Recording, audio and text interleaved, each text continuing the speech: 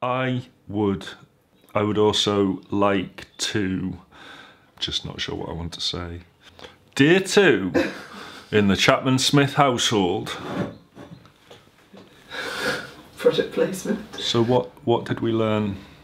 What did we learn from yesterday? Um, so the main thing I think we learned from making our first vlog ever yesterday was to not start filming at 8:30 p.m.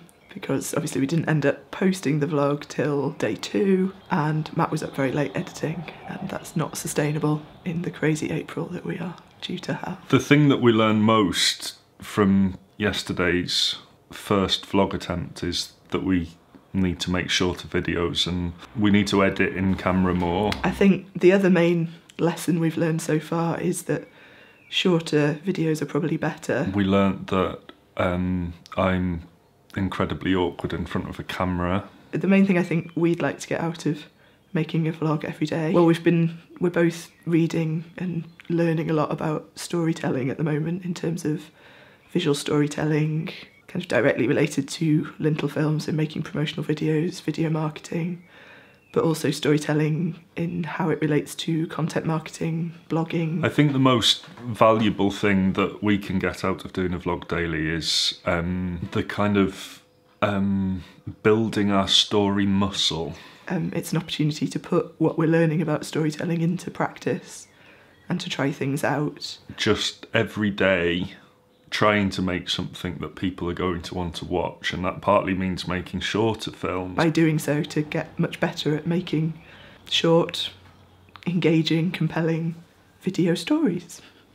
It's not necessarily something we have mastered. For a story to be interesting, it needs to have conflict. So there needs to be a question about whether the the characters are going to achieve what they want to achieve. I would like to make short, compelling videos every day.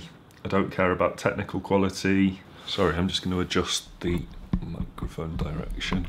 Not caring about technical quality here. If we were turning our crazy April into a story, the, the question would be, are they going to manage to make a vlog every day in April, given two large filming jobs and impending birth of second child? Conflict is the most essential foundational element of any story structure.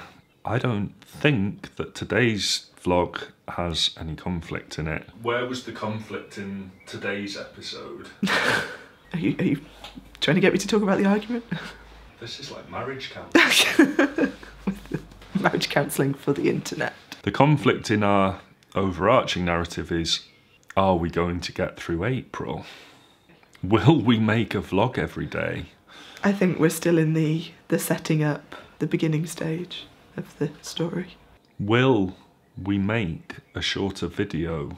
Stay tuned. dun dun dun.